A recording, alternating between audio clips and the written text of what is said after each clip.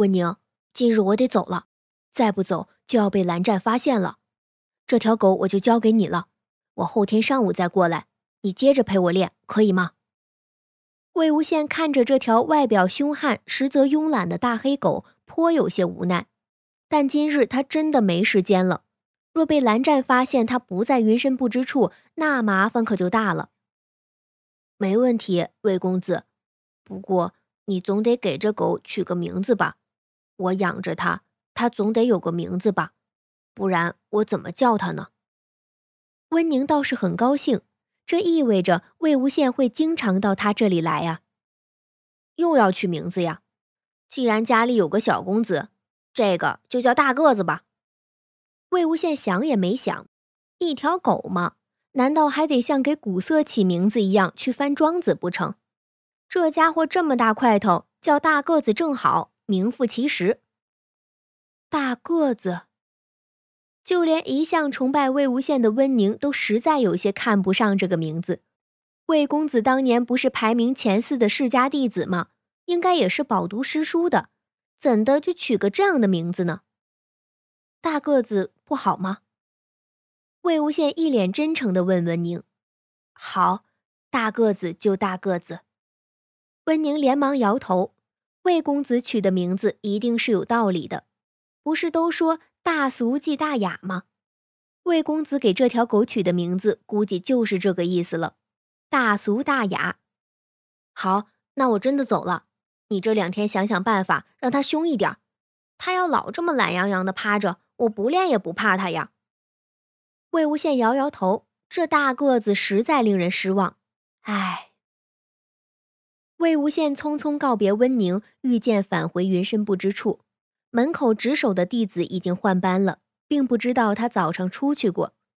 见到他从外头回来，感到有些惊讶，但也只是恭谨行礼，并没有多问一句。午间将至，弟子们都在准备吃午饭了。廊下没什么人，魏无羡有些着急。今日的时间还是紧了些，蓝湛一定已经回到静室，他会不会到藏书阁去寻我？魏无羡想了想，为了稳妥起见，决定舍近求远，先绕到藏书阁的方向，再往静室走。这样，就算蓝湛去藏书阁，也会在路上遇到我，不至于露出破绽。自以为严谨的魏无羡还没踏进静室的院门，就听见蓝忘机的琴音。太好了，既在弹琴，就说明没起疑心。魏无羡松了口气，晃晃悠悠进了屋。原来饭菜已经上桌了，蓝湛正等着他吃饭呢。回来了，蓝湛头也没抬，心里却是一块石头落了地。虽然他对自己的判断很有信心。但没见到人回来，始终是悬着心的。嗯，魏无羡难得一进门就主动洗手洗脸，他很担心身上有什么味道。毕竟在那卖狗的店停留了许久，蓝湛的鼻子一贯挺灵的，千万别被他闻出来。蓝忘机一看就明白了，这家伙心还挺细，生怕露出蛛丝马迹呀。这是打算继续瞒着我，后天还要偷偷溜出去呀？魏婴，兄长问你的夜猎笔记呢？写好了吗？蓝忘机收了琴，不动声色地问：“哎，我在藏书阁又睡着了，没写成，只有晚上再写了。”魏无羡愣了一下，搪塞了一句，然后赶紧撒娇：“蓝湛，我都要饿死了，别说了，先吃饭吧。”睡了一上午，怎么会饿？蓝忘机又悠悠地问了一句。魏无羡心里马上就警觉起来了，莫非蓝湛知道我没去藏书阁？没事儿没事儿，就算知道我没去藏书阁，我也可以推说我去后山看兔子去了。毕竟还没有搞清楚状况，不能自乱阵脚。或许蓝湛刚才就是随口一问呢。于是魏无羡决定继续插科打诨糊弄过去，笑道：“我怎么知道？我就是饿呗。不是说我胃积弱冠吗？”兴许我还在长，蓝湛，你说会不会过两年我就比你高了？嘿嘿，我得多吃一点。蓝忘机看了他一眼，这家伙撒起谎来竟如此淡定。若非今日碰巧提前回了静室，发现他不在家，定然是要被他骗过去了。既然饿了，就在外头买点点心吃，何苦饿到现在？蓝忘机将盛好的饭递给魏无羡，不显山不漏水的问。魏无羡接过饭碗就愣住了。蓝湛，我是因为钱袋子里的钱不够吗？以往你出门从来懒得带钱，我也就忘了告诉你，竟是没有钱。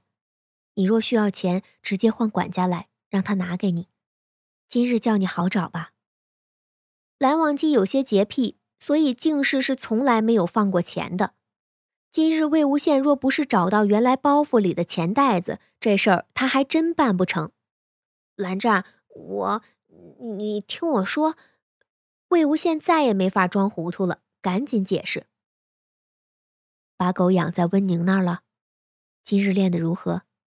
蓝忘机看魏无羡这会儿一副心虚的模样，又好气又好笑。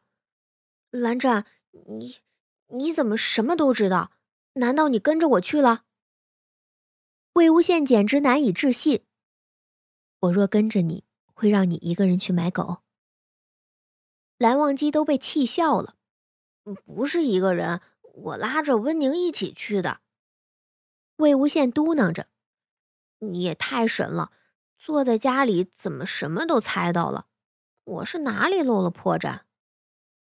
魏婴，你有没有想过，今日我发现你一个人悄悄离开云深不知处，会是什么感受？蓝忘机想想自己整个上午的心路历程，实在替自己抱屈。蓝湛，对不起，我我是想给你个惊喜。我想，若你知道我不怕狗了，你一定会高兴的。魏无羡有些慌了，糟糕，蓝湛定是生气了。你这不是惊喜，是惊吓。蓝忘机纠正他：“蓝湛哪里至于是惊吓吗？你不是都猜到了我去温宁那里吗？那就没什么好担心的了吗？别生气了嘛。”魏无羡放下碗筷，去扯蓝忘机的袖子。若不是后来发现你带走了钱袋子，我能猜到吗？我怎会知道你去了哪里？你知不知道我当时有多害怕？二十年了，这个人左右着自己所有的喜怒忧思悲恐惊，他竟然还在说哪里至于是惊吓？蓝湛，我以为你不会发现我出去的，我想着反正我一个上午就回来，就没想那么多。魏无羡明白了。蓝湛突然发现自己瞒着他离开了云深不知处，定是胡思乱想了。他可能会担心司命做了什么文章，逼着自己离开他，甚至有可能担心自己悄悄去了衡州看望萧孤云。魏无羡一下子就心疼了，蓝湛一定被吓坏了。蓝湛，今日是我欠考虑了，但是你要相信我，不管发生什么事，我都不会离开你的。魏无羡紧紧握住蓝忘机的手。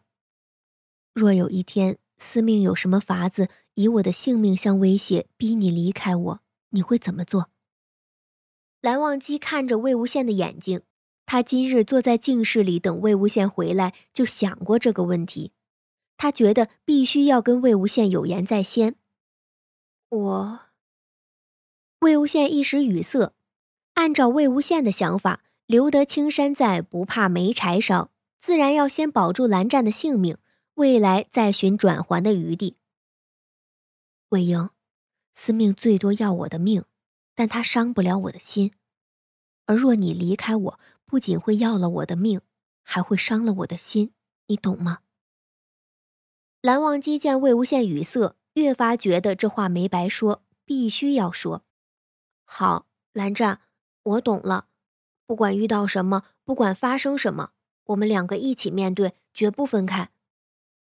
魏无羡知道，当时在不夜天，他松开了蓝湛的手，蓝湛的心就已经死过一次了。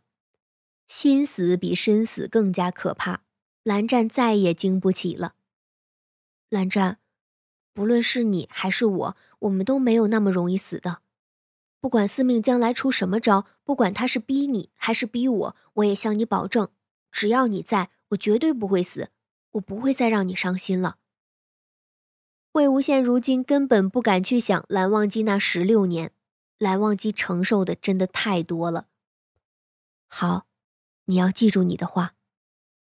蓝忘机郑重点头，他觉得今天能把这些话说清楚，那么自己一上午担惊受怕也算有价值了。蓝湛，吃饭吧，我刚才说饿了，真是实话。